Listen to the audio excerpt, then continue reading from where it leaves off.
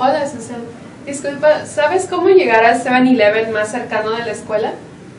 Sí, primero debes salir de la escuela y dirigirte a la derecha.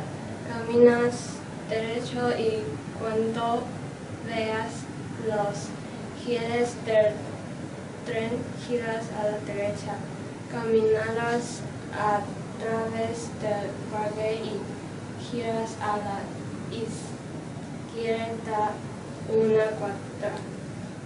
Después giras a la derecha y a partir de ahí solo sigues derecho y verás el semillero. Ok, muchas gracias.